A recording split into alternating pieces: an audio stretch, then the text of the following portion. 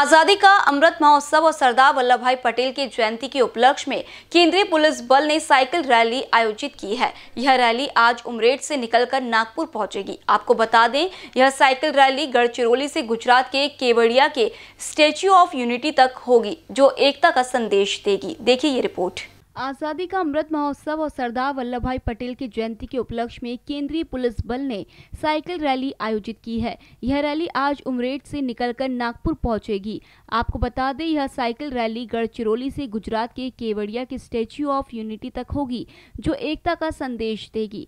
उमरेड की नगर अध्यक्ष विजय लक्ष्मी बहोरिया, पूर्व विधायक सुधीर परवे, द्वितीय commanding officer Alok Awasthi WCL के महाप्रबंधक दिवाकल कमांडिंग ऑफिसर मुकेश सिंह और डिप्टी कमांडर संजय कुमार बमोला ने झंडी दिखाकर रवाना किया।